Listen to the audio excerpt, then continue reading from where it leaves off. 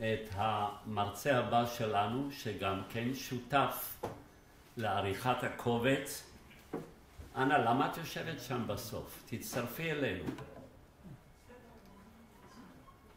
טוב, דוקטור אנה סלעי, בין האורחים והמובילים גם בכנס.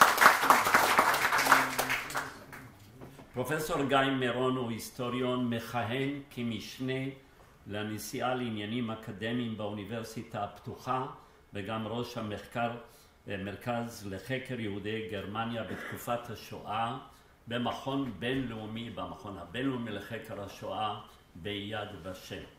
מחקריו עוסקים בתולדות יהודי גרמניה ומרכז אירופה במאה העשרים, בהיסטוריה של יהודי הונגריה, בהיסטוריוגרפיה יהודית ובסוגיות של היסטוריה וזיכרון. פרסם, לא את כל הספרים, לא אציין, משם לכאן, בגוף ראשון זיכרונותיהם של יוצאי גרמניה אה, בישראל, וגם שימש כעורך משותף של... פרופסור גיא מירון ידבר על תור הזהב, סימן שאלה, יהדות הונגריה בעידן האמנציפציה. בבקשה.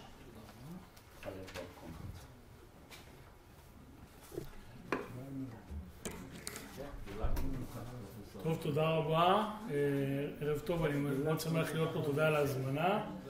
אה, אני, נראה לי שאני צריך לפתוח בהתנצלות שלמרות שאני פה ולמרות שהייתי שותף בעריכת הסרט ולמרות שקוראים לי מירון, אני לגמרי לא הונגרי, אני בא מבחוץ, אני מסתכל על זה קצת מבחוץ. אז אה, בסדר, לפחות להסביר, כי השם מירון, הרבה פעמים שאלו אותי גם בלי קשר אם אני משפחה הונגרית, אז לא. אמ, אני שמחתי להשתתף בעריכה של הקובץ אה, בעיקר, והוזכר כבר כמה פעמים, אני מזכיר שוב, אה, בגלל אנה, שהייתה מורתי להונגרית, אנחנו אה, התחלנו להיפגש בסוף האלף הקודם זה היה בעצם, במשך כמה שנים הייתה קבוצה מאוד קטנה של אנשים שחלקם בכלל לא באו מרקע הונגרי, אנחנו למדנו את השפה ואחר כך הייתה קבוצה אחרת שתרגמנו טקסטים מהונגרית לעברית ומזה יצא אותו ספר יהודים על פרשת דרכים שהוזכר כאן, ונדבר בשבח אכסניה גם בצו הוצאת אוניברסיטת בר אילן, ויש שם כמה קטעים, מקורות מאוד מעניינים על הזהות היהודית בהונגריה, על כל מיני אה, אה, תפיסות שונות, וזה בלי העבודה המשותפת שלי עם אנה לא היה קורה, ולכן כשהזמינו אותי להשתתף בעריכה של הקובץ, אז אה, זה היה מאוד פשוט, עם כל הכבוד לבר אילן ולמרכז בען, שאני חייב תודה, אני באתי קודם כל בגלל שהמורה שלי הזמינה אותי, אז אני חייב להגיד את זה. וכך יצא לי גם להכיר את המרכז, גם אותך, אה, שמעון, וגם את אה, אורה, שבלי המרץ שלה זה, זה לא היה קורה. זאת אומרת, היא לא ויתרה עד שהספר יצא. אז, אז אני רוצה לדבר קצת אה, אה, על יהדות הונגריה ודרך זה על הספר ואיך הדברים מתחברים סביב הנושא שבחרתי. אני גם, אה, עוד, עוד, עוד, עוד שמחה שלי שקשורה לספר, ששניים מהמאמרים נכתבו על ידי אה, אה, שני תלמידי דוקטורט שלי, אה, יהודה ארטמן ויואב סורק, שכל אחד תרם מכיוון אחר. אז היהדות ההונגרית זה מה שהיא מסמלת, ועכשיו אני מדבר, כמו שאמרתי, אני מבחוץ, זה לא סבא וזה לא אבא, זה מי שבא ולמדתי על קהילות אחרות, אני אגיד לכם סוד, כל הקהילות ייחודיות, וכל גלי העלייה ייחודיים, ובכל זאת בואו בוא נראה מה יש לנו כאן. אז קודם כל, זה יהדות של קצוות. מצד אחד, חלק מהמתבוללים הכי רדיקליים, ובכלל זה גם אנשים שממירים את דתם, אתם תמצאו שם. מצד שני אתם תמצאו שם את האורתודוקסים הכי קיצוניים, והזכרנו את סאטמן. מצד... עכשיו בגלל זה התבוללות קיצונית ואורתודוקסיה קיצונית, מה שמשותף להם, אין הרבה, מה שמשותף להם ששניהם מאוד מאוד מאוד לא ציונים. אז זה בעצם יהדות שהציונות מאוד חלשה בה, מצד שני, משם הגיע הרצל, אז איך תיישבו את הדברים האלה אני לא יודע, אנחנו רק רואים שוב את, את, את הניגודים הללו. אה, הניגוד בין הנאולוגים לאורתודוקסים שנרמז פה, המתח בין האוברלנד לאונטרלנד שמעסיק חלק מהמאמרים בספר, מה שיוצר בעצם איזשהו מיקרוקוסמוס זה פסיפס מאוד מאוד מרתק, עולם יהודי שלם שחלקים ממנו באמת נידונים בספר הזה אה, ומי שיחפש ימצא את המאמר של ויקטור קרדי על ההתבוללות ויהודה ארטמן על האורתודוקסים המודרניים ולוי יצחק קופר על האורתודוקסיה השמרנית והחסידות ויואב סורק על הציונות ועוד כל מיני כל, כל, מה, כל אחד מהמאמרים האלה מביא איזושהי נקודה אחרת בפסיפס הזה, וצריך לקרוא את הכל בשביל להבין את ההקשרים הרחבים יותר. עכשיו שוב, בתור מי שלא לא בא מהיהדות הזאת, מה שקשה קצת כשניגשים אליה מבחוץ זה איך אני מסווג אותה בדיוק. זה לא בדיוק יהדות מרכז אירופה הקלאסית, באתי, באתי ממחקר על גרמניה, אגב גם שם אני לא מהעדה, באתי ממחקר על גרמניה ו, ו, ו, וחלק מההשכלה ההיסטורית שלי הייתה יהדות מרכז אירופה זה קודם כל יהדות גרמניה, אז מה, מה עכשיו, הונגריה זה מזרח אירופה, ואז אתה מגיע למזרח אירופה, פולין, אוסט יודן, זה גם כן, זה לא מתאים, זה לא מסתדר, משהו פה לא, לא נכנס בדיוק לקטגוריות, יש פה איזשהו מתח בין טיפוסים שונים של יהדות, אפשר להגיד שזה לא שייך לשום מקום או שזה שייך לכל המקומות. אולי יותר נכון להגדיר את זה ככה. כמובן שמי שבא מבחוץ גם, הקושי הראשון שלו לעסוק בזה, זה המחקר, הנושא של השפה.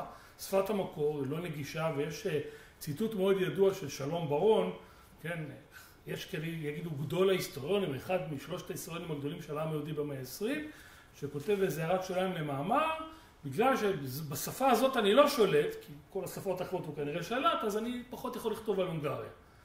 אני מכיר לפחות שני היסטוריונים צעירים שזה משך, אמרו טוב, אז לפחות את זה אני אעשה שהוא, שהוא לא עשה, וזה משך קצת... אה, אה, אני חושב גם, הוזכר פה גם הספר שלנו וגם הספר שאנה ערכה, אני חושב שגם בסיפור הגדול של העלייה לארץ וגלי העלייה, למרות החשיבות העצומה של הנושא הזה, עדיין היהדות הזאת לא מצאה עד הסוף את מקומה. יש לנו את הסיפור של העליות, כן, העלייה הראשונה, השנייה, שלישית, רביעית, אז חלק שורות לרוסיה, מחברים את זה לתימן, אה, מחברים את זה ליקים, אחר כך באה עלייה המונית, אז בדרך כלל מדברים על המעברות, ברור שזה נמצא שם, כן? אנחנו יודעים שבשביל זה אנחנו פה.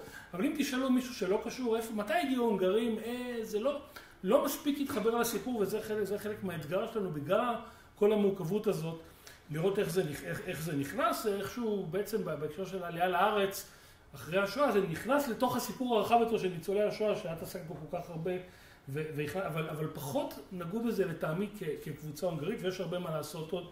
ובספר שלנו יש כמה מאמרים, תקראו את המאמרים של אילנה רוזן, של אחר שורני, של עדינה שטרן, שמאוד תורמים לדבר הזה, וגם בספר שלנו שהוזכר, עדיין אני חושב שבראייה הרחבה יש עוד הרבה מאוד מה לעשות, להוציא את זה החוצה להיסטוריה הישראלית הרחבה איתו.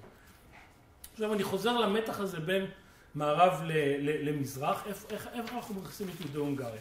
אז מערב לכאורה קשור לקדמה, התפתחות כלכלית, אמנסיפציה, השתלבות, אולי התבוללות, אלה הדברים שאנחנו מזהים ממערב, ציוויליזציה, אה, ופה הדימוי של יהדות מערב אירופה וגם יהדות גרמניה איכשהו אה, אה, משתלב עם הסטריאוטיפ.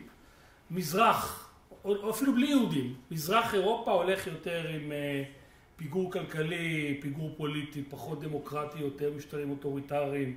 אה, אה, ובהקשר היהודי אולי זה מתחבר לנו יותר עם דימויים של גטו. אלה הכל סטריאוטיפים, כן? השאלה, כשאני מגיע איתם ליהדות ההונגרית, מה שאני רואה, זו תמונה הרבה יותר מורכבת, ובעצם ההיסטוריה היהודית בכלל בעשורים האחרונים קצת פירקה את הניגודים האלה ומציגה תמונה יותר, יותר, יותר רב-קוטבית. עכשיו, כמה מילים על הונגריה בכלל, כן? כדי לדבר על היהודים אנחנו צריכים לדעת, גם לשאול על הונגריה עצמה, האם היא במרכז או במזרח, וההיסטוריונים מאוד עסוקים בשאלה הזאת, כן? כי מבחינות מסוימות, לפחות עד אמצע המאה ה-19, הונגריה שייכת ממש למזרח. כן, ערב אביב העמים, או ערב מלחמת החירות ההונגרית, תלוי איך תקראו לזה, 1848-9, מבחינה כלכלית הונגריה נמצאת עדיין די עמוק במורשת הפאודלית. הכלכלה שלה עוד לא הגיעה מהפכה התעשייתית, המבנה החברתי שלה מאוד uh, קשור למבנים הפאודליים, ואלה שמנסים להוביל את ה... את המודרנה הכלכלית זה בעצם קבוצות בדרך כלל לא הונגריות, זה גרמנים ויהודים שהופכים להיות יותר ויותר חשובים, שחיים בערים, לצד האצולה שהיא הגורם, ה, היא הגורם, היא הגורם החזק. עוד אלמנט ש, ש, ש, שקשור לפיגור הזה זה בעצם שגם התשתית למדינת לאום חדשה, שלגמרי תקום בסוף המאה ה-19, כן, ואחר כך, אבל היא עדיין חלשה בשלב הזה בגלל שרוב ה... בעצם אה, רוב האוכלוסייה שדוברת ההונגרית הם עיקרים והשפה היא לא מפותחת והגרמנית תופסת כזה מקום.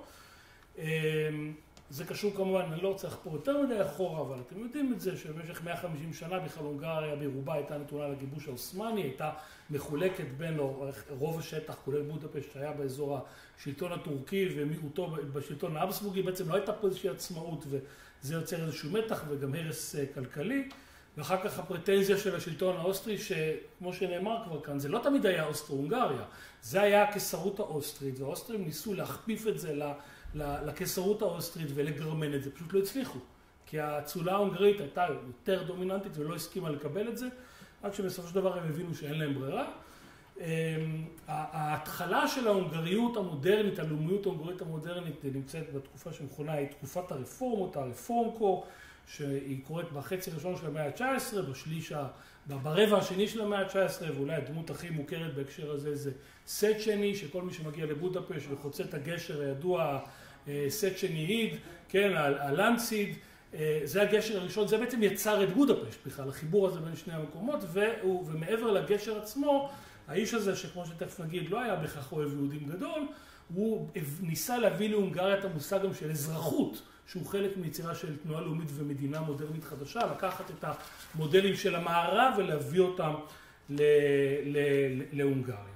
עכשיו, איך היהודים נכנסים לסיפור הזה? צריך להגיד כמה דברים מאוד בסיסיים על יהדות הונגריה. קודם כל, אם אני משווה אותה ליהדות הגרמנית או הפולנית, אפשר גם למרוקאית ולתימנית, זאת קהילה יחסית צעירה. זאת אומרת, יש הרי יהודים הונגריים בימי הביניים, אבל הקהילה היהודית ההונגרית שאנחנו מדברים עליה כאן היא בעצם תוצר של אחרי הגירוש, שחרור, תקראו לזה איך שאתם רוצים, של הונגריה מהכיבוש העות'מאני, ואז בעצם בתחילת המאה ה-18 יש לנו בכל המרחב ההונגרי העצום הזה קצת יותר מעשרת אלפים יהודים, ממש טיפה בים, ומתחילה להיווצר פה יהדות כתוצאה מהגירה.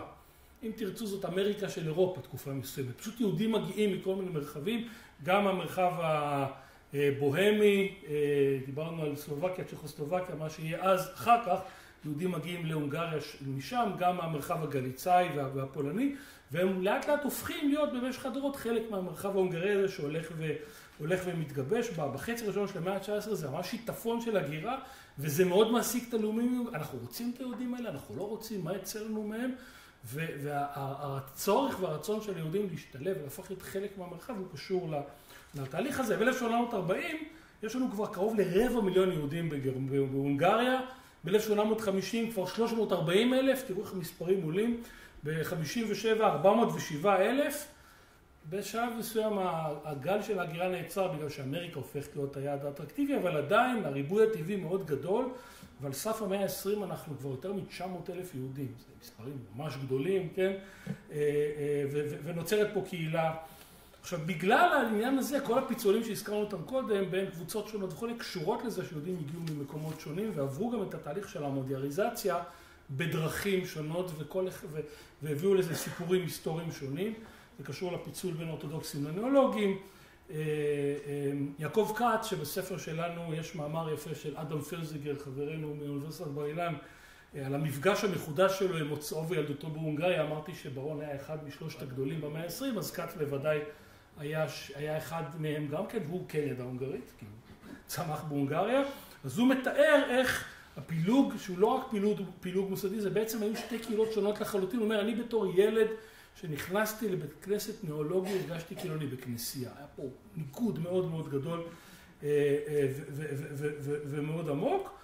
אה, ובנוסף לזה יש את המתח בין הסקטור העירוני לסקטור הכפרי שגם הוא מאוד מאוד, מאוד, מאוד חזק. עכשיו אני רוצה להגיע באמת לנושא של האמנסיפציה והכותרת של הדברים ש, שנתתי כאן. אז השאלת השילוב היהודים בהונגריה הייתה שאלה מאוד משמעותית במאה ה-19 כמו בארצות אחרות, כמו בגרמניה, כמו בארצות אחרות. אבל האופי הייחודי, בגלל ההגירה, בגלל הפיגור היחסי של הונגריה, בגלל שהלאומיות שלה מתעוררת יחסית מאוחר, הדיון פה הפך להיות דיון מאוד מאוד טעון. הזכרנו את צד שני, נתנו לו קרדיט על הגשר, עכשיו בואו נגיד מה הוא אמר על יהודים, וזה אחד הדברים שאני זוכר שלמדנו בשיעור של הנה וקראנו את זה גם במקור, אני עכשיו אגיד את זה בתרגום, הוא אומר יהודים אה, זה כמו אה, בקבוק של דיו שנשפך לתוך אגם. מה, אה, זה היהודים במערב. הוא אמר, אני רוצה להיות כמו המערב, נכון? אז אם אני לוקח בקבוק של דיו, שופך אותו לתוך נהר שוצף וקוצף, לא ירגישו בכלל, הוא ישתלב שם, לא, לא, לא ישימו לב, זה לא, לא, לא יהרוס את המים. אבל זה אנגליה וצרפת שלי, זה מדינות ענקיות. הונגריה זה כמו סיר מרק. אם אתה תשים בקבוק של דיו בתוך סיר מרק, מה יקרה למרק? הוא יתקלקל. אנחנו לא יכולים להכיל את, ה, את כל האנשים האלה, ולכן צריך למצוא דרך איכשהו... לא לשלב אותם, לא יכולים להיות חלק מאיתנו. זאת אומרת, אותו אדם שמזוהה עם השילוב של הונגריה באירופה ועם התאזרחות, אומר, אני רוצה לעצור את המהגרים האלה, הם לא יכולים להיות חלק מהלאומיות שאנחנו רוצים לבנות, הם יותר מדי, יותר מדי דומיננטיים.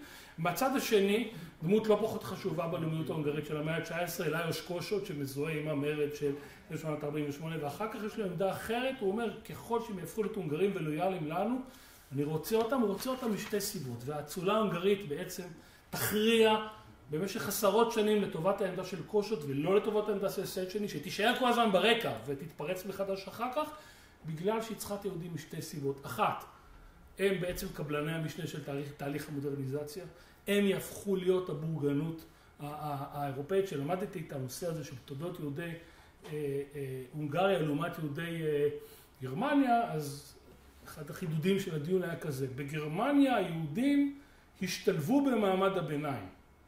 בהונגריה היהודים היו מעמד הביניים, זאת אומרת הדומיננטיות העצומה שלהם בתוך מעמד הביניים ההונגרי, עם הקטר שמושך, זה אולי קצת מוגזם, יגידו היום היסטוריונים חדשים, אבל הנוכחות שלהם, הדומיננטיות שלהם היא אדירה, וזה סיפור ההצלחה וזה אחרי זה גם סיפור הנפילה. אי אפשר לנתק את הדברים האלה. וזה מביא אותי ל-1867, להסדר האוסגלייך, הפשרה, שבעצם אה, יוצר את הקיסרות הדואלית, האוסטרו-הונגריה. ששתי המשימות, ואז הונגריה הופכת להיות ב-90% מדינה עצמאית. יש לה, אמנם הקיסר הוא המלך של הונגריה, אבל בעצם יש לה ממשלה משלה, יש בעצם אפילו צבא משלה, למרות שזה צריך להיות מתואם עם הצבא האוסטרי. ובעוד שבאוסטריה היהודים משתלבים בתוך קיסרות, פה בעצם במידה רבה יהודים משתלבים במדינת לאום, ולמה הם כל כך חשובים, וזאת הסיבה השנייה שההונגרים כל כך צריכים אותם, מכיוון שהונגריה בשטח העצום שיש לה, שראינו קודם, מכילה בתוכה הרבה מאוד מיעוטים לאומיים, רומנים, סלובקים, סרבים, קרואטים, רוטנים, ובטח שכחתי עוד כמה, כמה? צוענים. כן, צוענים, כן, סרבים, קרואטים הזכרתי, ועוד ועוד קבוצות, ובעצם היהודים זה שובר השוויון. אם היהודים יכריזו על עצמם כהונגרים, יש לנו יותר מ-50 אחוז הונגרים במרחב, אם לא, אוי ואבוי, כן? רוב הונגרי. אם זה נשמע לכם מוכר היום, ולכן להונגרים יש את כל האינטרס לתת ליהודים את האופציה להשתלב. אגב, הם ניסו גם לבולל לאומיים, קבוצות לאומיות אחרות, זה לא הלך. להפוך את הגרמנים להונגרים, בטח לא את הסרבים, או קבוצות אחרות, זה לא הצליח עם היהודים, זה נראה כדי עובד, ולכן זה חלק מהעניין. יש כאלה שקוראים לזה עסקת ה... בעצם עסקת האמנסיפציה, יש פה איזה דיל כזה, וזה מה שקושוט חשב עליו עוד לפני כן, וזה מה שקורה בעשורים האחרונים של, של, של המאה ה-19. ב-1910, כדי לסבר את האוזן, 74 אחוז מהיהודים במרחב הזה, שזה אמרנו קרוב ל-900 אלף, הכריזו על הונגרית כשפת האם שלהם. הם נתנו את מה שהם היו אמורים לתת, זה בעצם עשה את, ה, את, ה, את, את, אה, אה, את העניין, זה הבסיס לתור הזהב, להצלחה האדירה שלהם, זה הבסיס לבנייה של בודפשט כעיר אירופית מובילה. עוד כמה נתונים. אה, ב-1873 יעקב הופכת להיות בודפשט, מאוד מהר הופכת להיות עיר אירופית, יהודית אירופית מרכזית. 1870 חיים בה 45 אלף יהודים, ב-1881 70 אלף יהודים, ב-91 יותר מ-100 אלף וב-1900 קרוב ל-170 אלף, ואם תרצו, אחרי ורשה ולודג' זאת העיר היהודית השלישית באירופה, יותר מברלין, בוודאי יותר מפריז מבחינת אוכלוסייה יהודית, ומה שעוד יותר משמעותי זה שיותר ממחצית כל המקצועות החופשיים שתחפשו, משפטנים, רופאים, רוקחים, כל התחומים האלה הם יהודים, ממש נוכחות מאוד מאוד חזקה. מצד אחד תרומה מאוד גדולה לאומה ההונגרית המתפתחת, מצד שני, ברגע שהתחיל להתפתח בהונגריה מעמד ביניים שירצה לתפוס את המקום שלו, אפה, היהודים נמצאים בכל מקום, וזה אחרי זה בעצם ייצור את הקטסטרופה, ומפה הסימן שהעלה פה על תור הזהב, כי אחרי זה קרה אה, אה, משהו, משהו אחר. היהודים נקלטו בכלכלה, הם אימצו את השפה, הם התחברו לתרבות, האם היו חלק מהחברה ההונגרית? זאת שאלה. מה זה החברה ההונגרית? יש כל מיני חלקים לחברה ההונגרית. חלק מהבעיה הייתה שבעצם התשתית החברתית הפאודלית וחלק מהנורמות של האצולה המשיכו להיות מאוד מאוד דומיננטיים. ההבחנה בין היהודים לבין האליטות המסורתיות לא, לא נעלמה, והמפנה, אמנם אנטישמיות התחילה לפני כן, וכולכם שמעתם על איש תוציא ועל טיסה אסלר וכל התהליכים האלה שקורים בסוף המאה ה-19, אבל בגדול השלטון ההונגרי דוחה את הכוחות האלה כי הוא צריך את היהודים. ובשנות התשעים היהדות אפילו מקבלת מעמד של דת מקובלת בהונגריה, דת מוכרת, שבעצם המעמד של היהדות, של הדת היהודית, משתווה למעמד של הכנסיות, זה לא קורה בשום מקום אחר באירופה. זה לא קורה בגרמניה, זה אפילו לא קורה בצרפת, זה משהו שהוא... אבל ברגע שתגיע מלחמת העולם הראשונה, כל הסיפור יתהפך. וזה בעצם הסוף הפחות, הפחות שמח שאני מגיע אליו, ואני לא מדבר על השואה. זה נושא אחר, אני מדבר על מה קורה בהונגריה בין מלחמות העולם, שהופכת להיות מדינה הרבה יותר קטנה, ושמענו על טריאנון וכולכם יודעים על מה מדובר. הופך להיות מדינה הרבה יותר הומוגנית מבחינה אתנית. כי, כי הרומנים והסלובקים והסרבים והקרואטים, לא יודע, לגבי הצוענים והטרוטנים, כל אחד כבר חי במדינות היורשות שמסביב, כן, עוד ביטוי שלמדתי מאנה, המושג הזה, המדינות היורשות, כן? בתוך הונגריה עצמה, אותם אלה שאומרים, כן, נם שואה, לא יהיה יותר, חלק ה... 40 אחוז בסך הכל ממה שהיה קודם, היהודים פתאום הם המיעוט היחיד. עכשיו לא צריכים אותם יותר.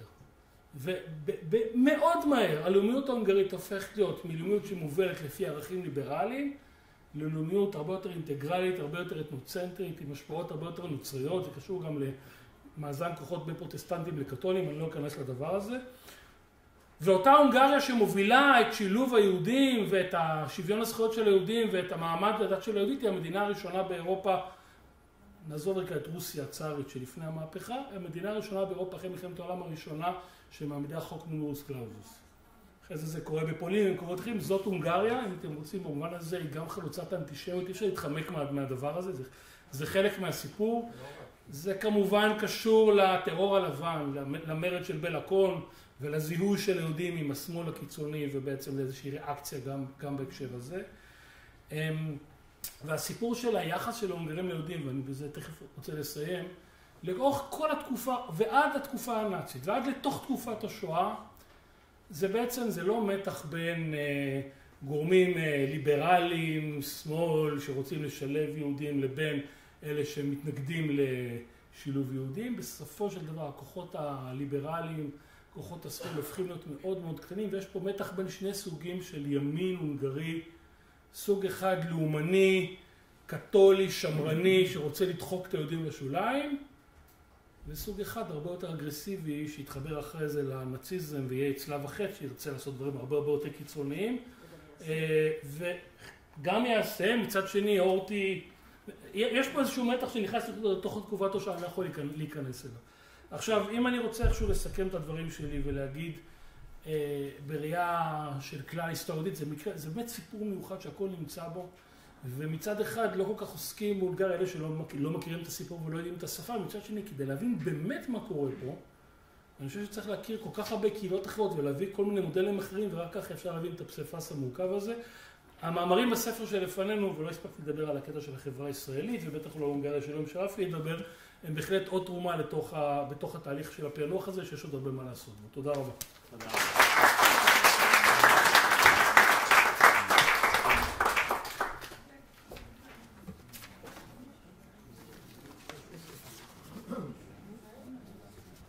תודה רבה לך, פרופסור גיא מירון.